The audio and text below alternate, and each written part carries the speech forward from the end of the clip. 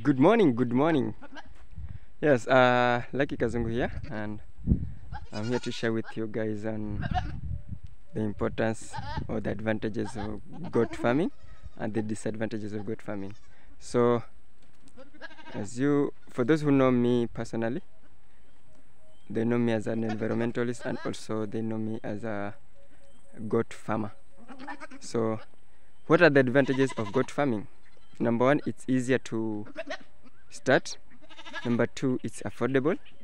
And number three is that goats are grazers and also are browsers.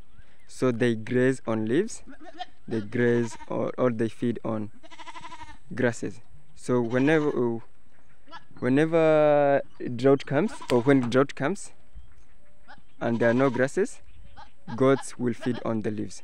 And when rain comes and uh, grass is available, they'll feed on the grasses. So that's one of the advantages, or those are the advantages. But the disadvantages is uh, they're prone to diseases, but also they have also a good advantage compared to other forms of farming that they're prone to diseases, but they're also resistant to them. So maybe you can see them that have been affected for, for some days, but then when you vaccinate them or you look for a vet to come and treat them, they'll be they'll retain their health back.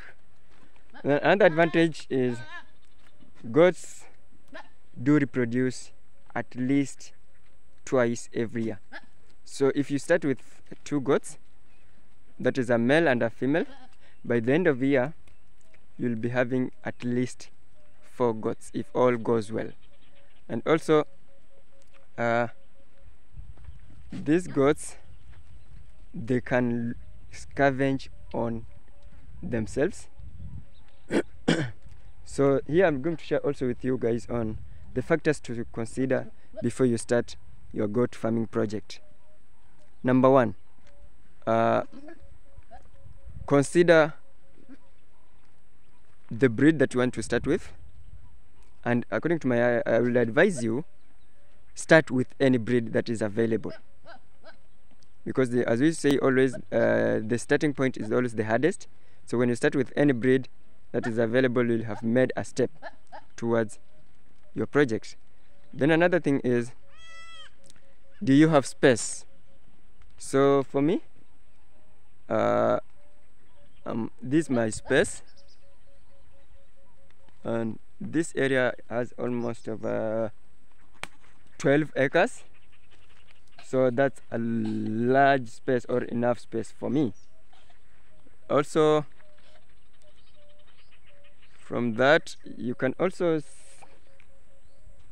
start with uh, security of your area so if your net area, if your area is not secure or if your area has many thieves then consider that as a threat to your project because as you all know thieves come to steal and might also harm your goats. And this uh, has been a really challenge to many farmers. Then another thing is before you start it make sure it's your passion because if it's not your passion then you're going to fail terribly. So make sure that you start something that you're passionate about because it, through the passion is when you're going to take care of or you're going to be very keen and ensure that you succeed in your passion. Then uh, the other thing is who are you going to leave your goats to take care of them so uh, many people like for my for my case i started my goat farming with uh, my my goat farm with two goats and i entrusted them to my uncle who had a bigger goat farm. But then after entrusting him with the two goats uh, i went to school and after three years i came back to check on how my goats were doing. So in, in the three years, I was expecting to be having at least 10 to 15 goats. That is the three years time that I was in school. But to my surprise, I found only eight goats. So you can guess what happened to the seven.